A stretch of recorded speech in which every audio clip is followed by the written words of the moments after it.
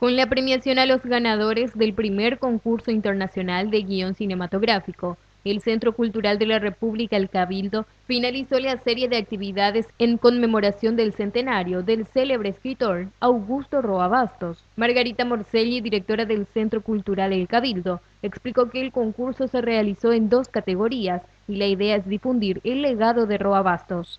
Sí, se ha hecho muchísimos concursos para difundir justamente su obra que siempre se basaba en valores y principios.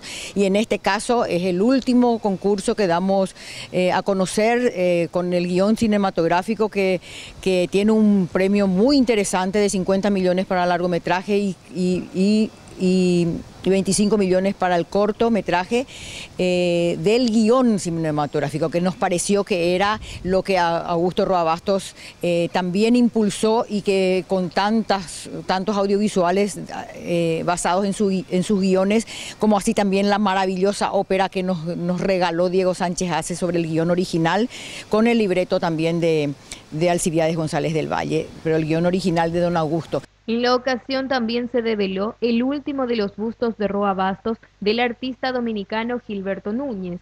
Mirta Roa, hija del autor de Yo el Supremo, agradeció a la comisión organizadora por todos los homenajes realizados y sostuvo que Roa permanecerá por siempre en la memoria de las personas.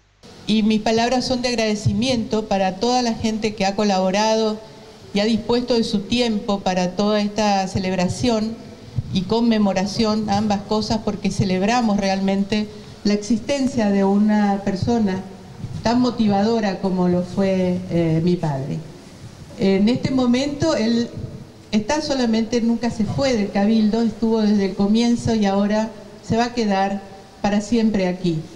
Y como dijera Mempo Giardinelli, dentro de 100 años se seguirá hablando de Roa porque él ha roto moldes, porque ha trascendido con su amor y su lealtad al país, ha trascendido eh, las fronteras y es universal.